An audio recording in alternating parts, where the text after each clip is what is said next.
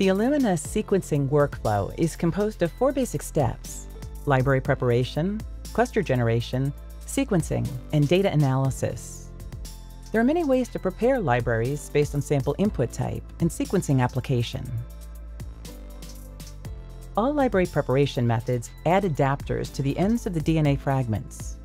Through library preparation, these adapters contain regions such as sequencing initiation sites, indexes for molecular barcoding, and regions that will bind or hybridize to complementary sequences on the flow cell. Clustering is a process where each library fragment molecule is amplified to create a cluster of identical copies on the flow cell surface. Illumina utilizes two flow cell architectures, random flow cells with a lawn of oligos over the entire surface, and patterned flow cells with oligos only in nanowells. Newer Illumina systems utilize patterned flow cell technology to create clusters at greater density and efficiency. Flow cells are coated with a lawn of two types of oligos. Cluster generation occurs when library fragments hybridize to the surface of the flow cell. DNA fragments are bound to the flow cell substrate through hybridization of complementary sequences. After libraries are attached to the flow cell, the strands are now clonally amplified through a novel amplification chemistry called exclusion amplification, or ExAmp. After the polymerase creates a copy of the hybridized template molecule, another copy is made by hybridizing to the second type of oligo on the surface, creating two identical copies tethered to the surface of the flow cell. The process is then repeated many times per cluster, resulting in clonal amplification of all the library fragments. ExAmp performs this process quickly, efficiently, and in real time. After amplification, the reverse strands are removed, leaving only the forward strands. The three prime ends are blocked during the removal of the reverse strand to prevent unwanted priming during sequencing. Sequencing begins with the extension of the first sequencing primer to produce the first read. With each cycle, a mix of fluorescently tagged nucleotides are available for addition to the growing chain. Only a single fluorescent base is incorporated that is complementary to the sequence of the template.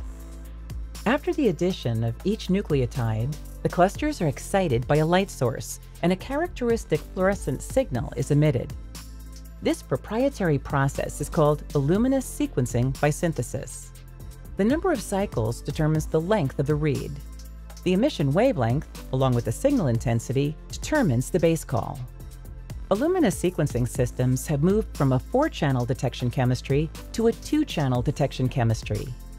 Two-channel detection chemistry improves efficiency and reduces sequencing runtimes. New XLEAP SBS chemistry further improves the speed and accuracy of the two-channel detection approach through an improved block and linker and a new polymerase engineered to incorporate nucleotides faster and with higher fidelity. This delivers up to two times faster incorporation rates relative to standard SBS. All identical sequence strands in a given cluster are read simultaneously.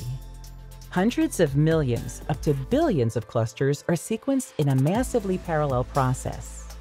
This image represents a small fraction of the flow cell. After the completion of the first read, the read product is washed away. In this step of the example, the Index 1 read primer is introduced and hybridized to the template. The index read is generated similar to the first read. After completion of the index read, the read product is washed off. The template now folds over and binds the second oligo on the flow cell.